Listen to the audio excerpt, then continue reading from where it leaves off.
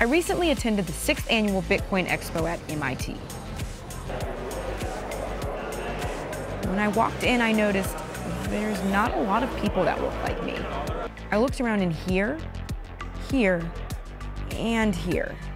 We're looking around, trying to find a black woman to talk to. Um, there don't appear to be any in here. Uh, I think the entire day we've been here, I've seen two, and it was unclear whether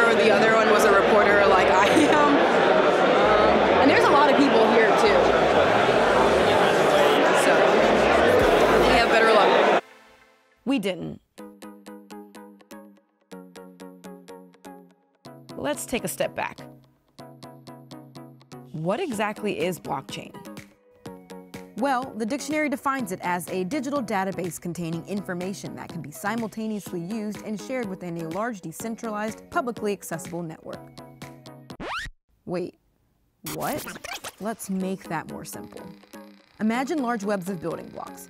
Instead of answering to a single source, these webs are decentralized networks with a community vibe, meaning that me, you, and your neighbor can all help run it. And that creates one of the most attractive components of blockchain, digital safety. Because there's not a single centralized core, it's much harder for a single source to hack, corrupt, or even create major damage to this web of networks. It's kind of like a giant neighborhood watch system.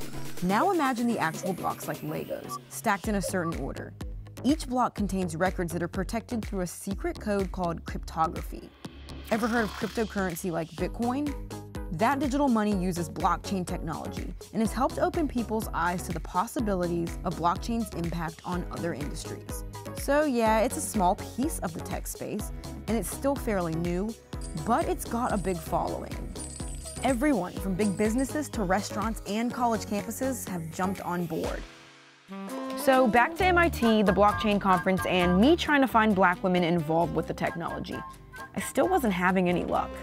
But I also noticed there weren't really any black men either.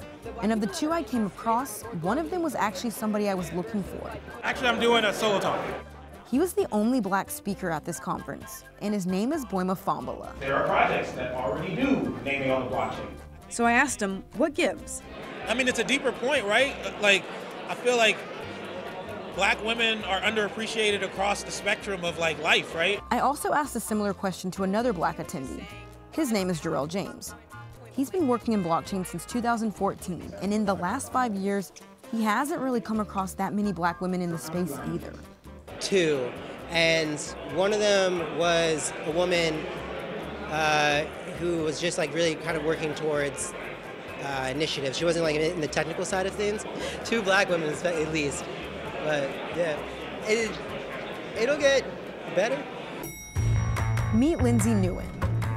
She works at MIT and is the founder of her own company called Empirical, which is pretty impressive. She's also the founder of another pretty important group called Women of Color in Blockchain, which she started after attending a conference like the one I went to, where she also saw a lack of black women on hand.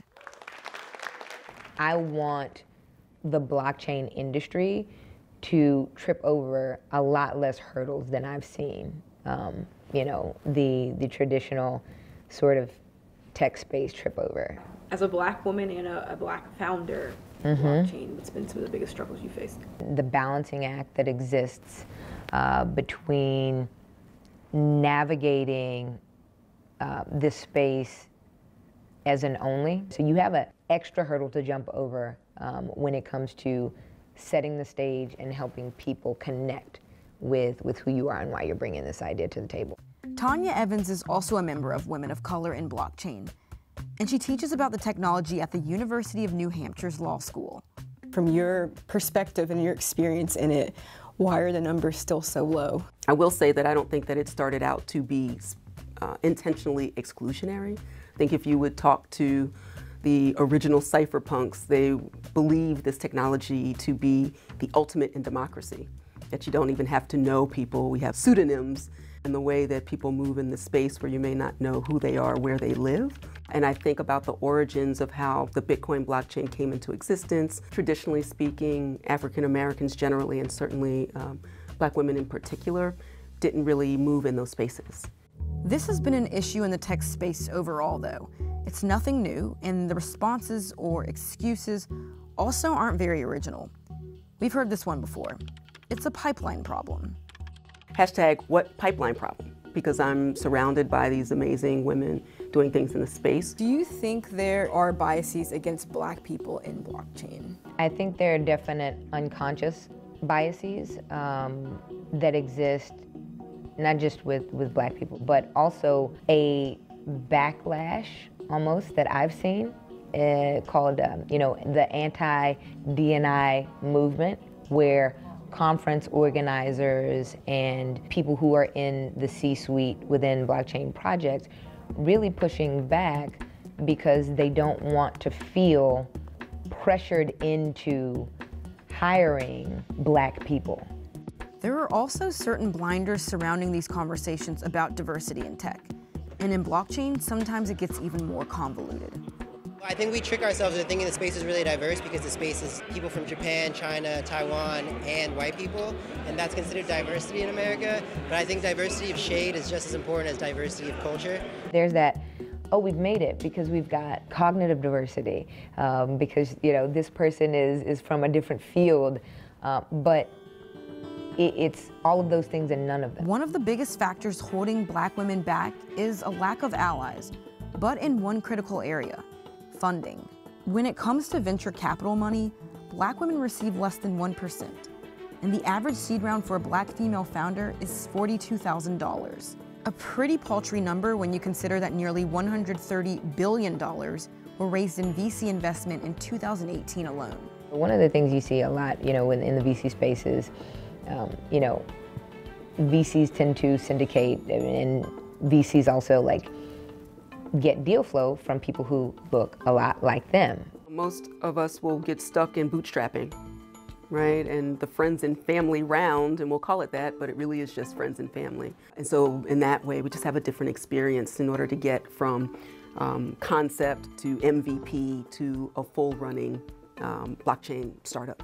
It can be really disheartening when you see oh, you know, articles that there's so much capital being deployed and there's so much money. It's just, you know, finding the right vehicles for, for your company. We're still going to work in the space. We're still going to do what we do. We're going to be amazing at what we do.